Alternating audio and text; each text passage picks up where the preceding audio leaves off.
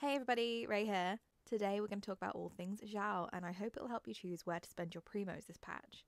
Don't forget to check out my Shenhe video, and I'll feature Ganyu very, very soon. Before we hop on in, please let me know if you like these videos by hitting that like button, and if you've not joined the team yet, then check out the subscribe button. If there's a character you think I should cover next, let me know in the comments. And if you want to talk all things Genshin, you can come join in on my Discord server too. The link's in the description. Xiao is one of Liyue's Adepti, and to be a little more specific, one of the five Yaksha dispatched by the Geo Archon to fight off demons. Xiao's history is dark and has left him a little disturbed. Xiao is known as the Vigilant Yaksha as he is always, and I mean literally always, ready to fulfill his contract and protect Liyue. Before we talk about what Xiao can do, I'm going to show you my build. Maybe I should put a content warning here though because it's a bit of a disaster mess.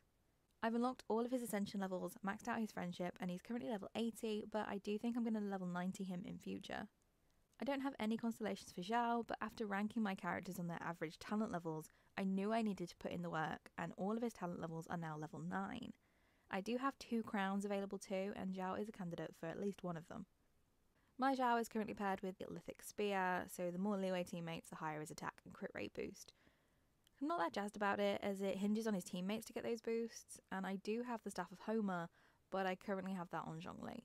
For weapon, Xiao really gets the short end of the stick as it's kinda difficult to get a really good free to play friendly polearm for him. Literally, right after filming this, I got a Calamity Queller. I was hoping for the Primordial Jade Winged Spear for Xiao instead, but oh well, I'll test that on him anyway. When it comes to artifacts, that's where it gets really messy. I'm running a four piece Gladiators finale because I can never get anything good from the Viridescent set, so I've fully given up on that. So, aside from his artifacts with a fixed stat, there's an attack percent Sands, an Anemo damage goblet, and an attack percent circlet. I did actually upgrade these a bit while filming, but every single one needs to be better. They're a bit naff, really, aren't they? So, if you've been thinking of adding Xiao to your team, it's time to stock up on Anemo crystals from the bosses, Juvenile Jade from the Primordial Geovishap, scale the highest peaks of Liyue for Qingxin flowers, and gather up some slimes. For his talents, you'll need Books of Prosperity, more slimes, and Shadow of the Warrior from battling the Harbinger Tartaglia. Once you've added Xiao to your team, any more wishes returning the same character will give you Stellar Fortuna to light up his constellation Alatus Nemesios.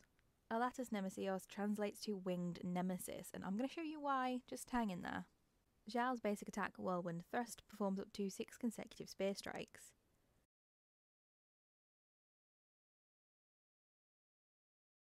For a polearm user, Xiao has a unique charge attack described as an upward thrust, which of course consumes stamina, and when plunging from midair deals AoE damage upon impact with the ground. Xiao will not take any damage from a plunging attack no matter how high he falls from. Here's a side by side with Kujou Sara, who has a similar HP, and from the height of the Jade Chamber, Sara takes damage while Xiao is unscathed. When performing his elemental skill, Lemniscatic Wind Cycling, Xiao lunges forward, dealing Anemo damage to opponents in his path. He can also use the skill in midair, and it starts off with two charges. For his second passive talent, Dissolution Aeon Heavenfall, using Lemniscatic Wind Cycling increases the damage of subsequent uses of the skill by 15%.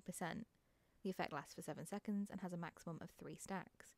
Gaining a new stack refreshes the effect's duration. The first constellation, Dissolution Aeon, Destroyer of Worlds, grants the skill one extra charge, while the third constellation, Conqueror of Evil, Wrath Deity, increases the level of this skill by 3 talent levels. For the elemental burst, Bane of All Evil, Xiao dons the Yaksha mask that set gods and demons trembling millennia ago. The Yaksha mask greatly increases Xiao's jumping ability, converts his attack to anemo damage, which can't be overridden by other elements, and increases his damage in AoE. In this state, Xiao will continuously lose HP. The effects will end when Xiao falls or leaves the field. After unlocking the first passive talent, Conqueror of Evil, Tamer of Demons, while under the effects of Bane of All Evil, all damage dealt by Xiao increases by 5%. Damage increases by a further 5% every 3 seconds the ability persists, with a maximum damage bonus of 25%. The fifth constellation, Evolution Aeon, Origin of Ignorance, increases the level of Bane of All Evil by 3 talent levels. And the final constellation, Conqueror of Evil, Guardian Yaksha, while under the effects of Bane of All Evil, hitting at least two opponents with Xiao's plunging attack will immediately grant him one charge of Lemniscatic Wind Cycling, and for the next second he may use it while ignoring its cooldown. His final passive talent, Transcension Gravity Defier, decreases climbing stamina consumption for your own party members by 20%. but it's not going to be stackable with any future characters who have the same benefit. When in the party and not on the field, Xiao's second constellation, Annihilation Aeon Blossom of Kaleidos, increases his energy recharge by 25%. And his fourth constellation, Transcension Extinction of Suffering, grants Xiao a 100% defense boost when his HP falls below 50%. And when he cooks the attack boost in dish almond tofu, there's a chance he'll create his signature dish Sweet Dream instead, and that dish will grant a greater attack boost than the original product. So let's talk team comps.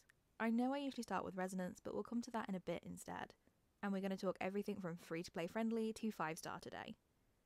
Personally, I feel like you should run Xiao with a dedicated healer. Not just someone who can heal, but a healer healer, like Barbara, Diona, Qiqi, or Kokomi.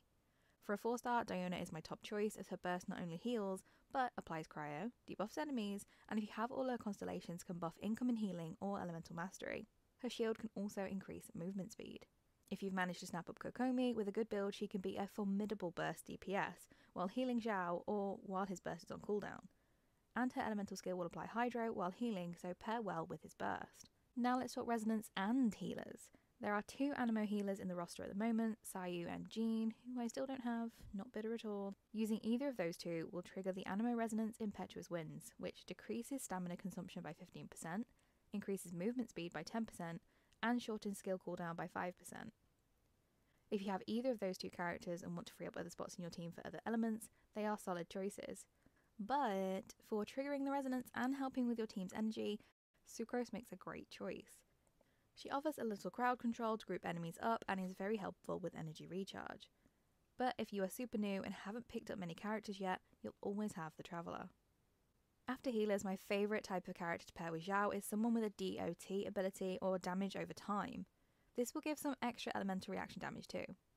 I've already mentioned Diona and Kokomi who fit this bill, and Sucrose and Sayu too. For elemental skills, think Mona's Taunt skill, Fischl and Xiangling's Familiars, and Shogun's Judgment. For bursts, there's Rosaria and Lisa, but if you also go for multiple characters this patch, Shenhe and Ganyu. And finally, of course, characters whose skills can buff the party or debuff the enemy, like Bennett's attack boost, Kujou Sara's attack boost, Zhongli's resistance shred, and have I mentioned buffs and debuffs Diona can bring to the team yet?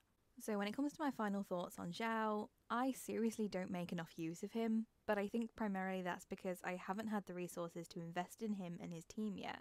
In earlier stages of the Abyss, even with a lackluster build that I have, he is formidable, but personally I'm not that great at managing his HP sacrifice. That is just a me problem though, because I'm just not skilled enough to be a Xiao main. Although whenever I do bust him out as the lead on my team, it's a nice change of pace as his playstyle is pretty different to the other characters.